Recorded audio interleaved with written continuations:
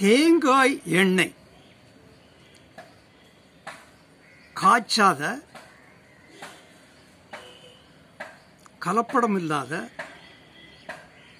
தேங்காய் எண்ணெய் ஒரு சிறந்த மருந்து சித்த மருந்து.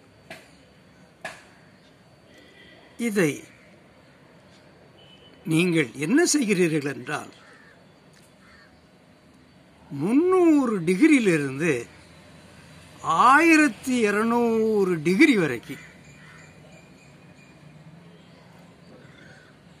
வெப்பத்தில் காட்டி இந்த தேங்காய் எண்ணெய் கெட்டு போகாமல் ஆண்டு கணக்கில் இருக்க வேண்டும் என்பதற்காக இதில் அடங்கியுள்ள சத்துக்களை எல்லாம் வீணடிக்கிறீர்கள்.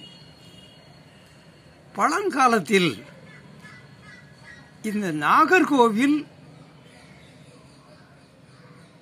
மலையாளம் திருவனந்தபுரம் கொச்சின் போன்ற இடங்களில் வாழ்கின்ற மக்கள் தேங்காய் எண்ணெயை ஒரு மருந்தாக பயன்படுத்தினார்கள். அப்போதெல்லாம் தேங்காய் எண்ணெயை பச்சையாக தயாரிக்கும் வித்தையை கத்திருந்தார்கள். எதை எடுத்தாலும் தேங்காய் பூ சேர்த்துத்தான் சமையல் செய்வார்கள். நாகர்கோவில் மக்களுக்கு நாகர்கோவில் தமிழ்நாடு மக்களுக்கு தேங்காய் இல்லாமல் முடியவே முடியாது. அதுபோல் கேரள மக்கள் நெஞ்சுரம் உள்ளவர்களாகவும் உலகம் முழுக்கும் ஆட்சி செய்பவர்களாகவும் இருப்பதற்கு காரணம் தேங்காய் தேங்காய் தேங்காய். இப்போது உள்ள இந்த முறையை செய்முறையை மாற்றிவிட்டு தேங்காயை துருவல் எடுங்கள். இப்படி துருவலாக ஆக்கி கொள்ளுங்கள்.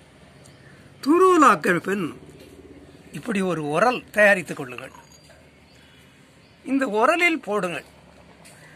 இந்த துருவலை உரலில் போடுங்கள்.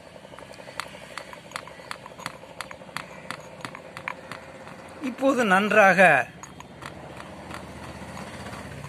crush it by hand pounding crush it by hand pounding Now you can use it as oil, as oil or chutney or curry, whatever you want, apply it. Now you can get the benefit of coconut oil. See the oil strain. Only 5 rupees you have to spend a day. One man has to spend 5 rupees a day to get pure coconut oil. Thank you.